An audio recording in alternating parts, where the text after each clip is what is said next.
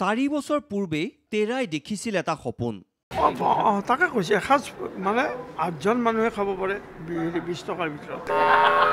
সেই প্ৰভুজনাৰ সেই হাঁহিটো সেই আঢ়ৈটকীয়া হাঁহিটো গোটেই জগতত থাকি যাব।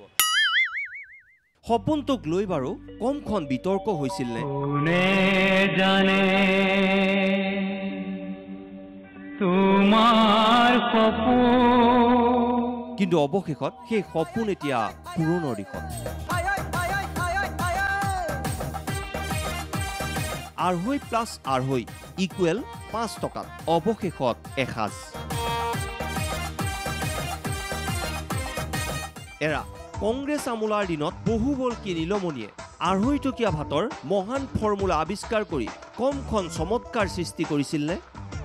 তেৰাৰ সেই সপোন দেখি ৰাইজে তেতিয়া গালি গালাজেৰে উপচাই পেলাইছিল। মই ভাত খাম বুলি বহিছিলোঁ। ভাত খাওঁ বুলি বহিছিলোঁ কিন্তু ভাত খাব নাপালোঁ।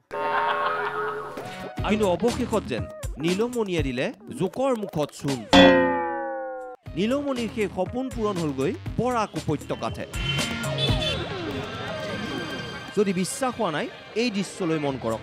হাতে হাতে থাল লৈ ৰাইজে পাতিছে শাৰী কাৰণ এশ দুশ টকাত নহয়।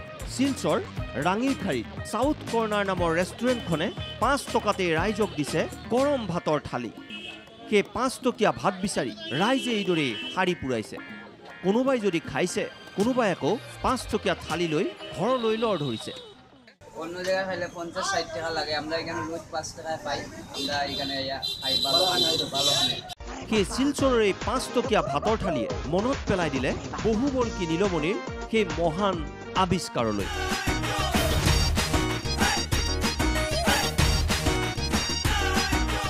চাৰি বছৰ পূৰ্বৰ আঢ়ৈ টকাটো এতিয়া পাঁচ টকা হ'বই দিয়কচোন।